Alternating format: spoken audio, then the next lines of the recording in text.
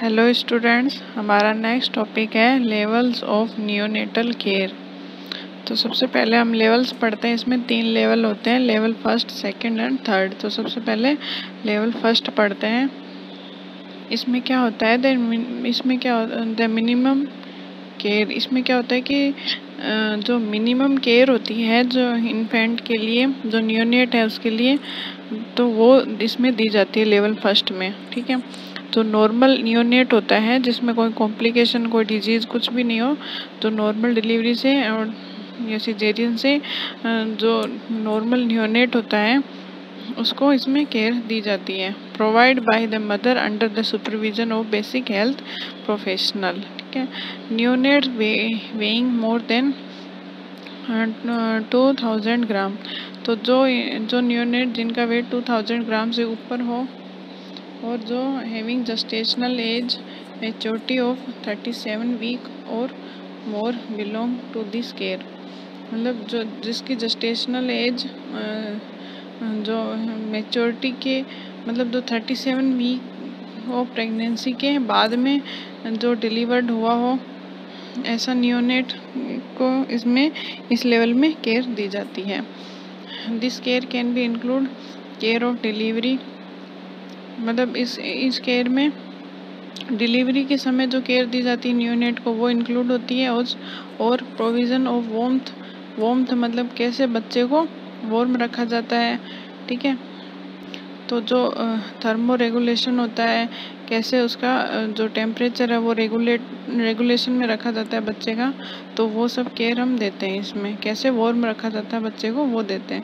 उसके बाद maintenance of asepsis asepsis को कैसे मेंटेन मेंटेन रखा जाए हाँ बच्चे को कैसे इन्फेक्शन से प्रिवेंट रखा जाए, उससे रिलेटेड केयर देते हैं and promotion of breast feeding और ब्रेस्ट फीडिंग को प्रमोट करते हैं। उसके बाद में सेकंड है लेवल ऑफ़ सेकंड केयर ठीक है? इसमें क्या होता है? दिस केयर इंक्लूड रिक्वायरमेंट और resuscitation maintenance of thermo neutral temperature IV infusion gavage feeding phototherapy और एक्सचेंज ट्रांसफ्यूजन ठीक है? तो इस केयर में ये सब चीज़ें इंक्लूड होती हैं मतलब जो कि इस केयर में ऐसे बच्चे को इंक्लूड किया जाता है जिसमें थोड़ी बहुत कॉम्प्लिकेशन हो उसके हेल्थ से रिलेटेड जिसमें कि उसको इस लेवल की केयर दी जा सके, जैसे कि रिससिटेशन दिया जा सके, ठीक है थर्मो न्यूट्रल टेम्परेचर मेंटेन किया जा सके आईवी इन्फ्यूज़न दिया जाए गावेज फीडिंग दी जाए फोटोथेरेपी दी जाए या फिर और एक्सचेंज ट्रांसफ्यूजन किया जा सके, ठीक है। तो ऐसे इस लेवल में क्या होता है, जो न्यूबॉर्न होते हैं, वो 10 से 15 परसेंट न्यूबॉर्न इस केयर में इंक्लूड होते हैं। The care of anticipate for the infant weighing between fifteen thousand hundred to eighteen hundred gram मतलब इसमें क्या होता है कि जो पंद्रह सौ से अठारह सौ ग्राम के बच्चे होते हैं, उनको इसमें शामिल किया जाता है। ठीक है? तो जो 1500 से 1800 ग्राम के बच्चे होते हैं, उनको ये लेवल सेकंड केयर दी जाती है और हैविंग जस्टेशनल एज और जो जस्टेशनल एज के बत्तीस से लेकर छत्तीस वीक के बीच में जो बॉर्न होते हैं, उन ऐसे इन्फेंट को केयर ऐसे न्यूनेट को केयर दी जाती है। उसके बाद में लेवल थर्ड केयर तो लेवल थर्ड में क्या होता है कि लेवल जो थर्ड केयर होती है, उसमें क्या क्या इंक्लूड होता है? जैसे कि लाइफ सेविंग सपोर्ट सिस्टम तो लाइफ सेविंग सपोर्ट सिस्टम की केयर जो, जिसमें दी जाए, वो लेवल थर्ड होता है, ठीक है? जैसे कि वेंटिलेटर हो, या फिर बेस्ट सुटेड स्पेशल आईसीयू हो इंटेंसिव न्यूनेटल केयर यूनिट हो, ठीक है?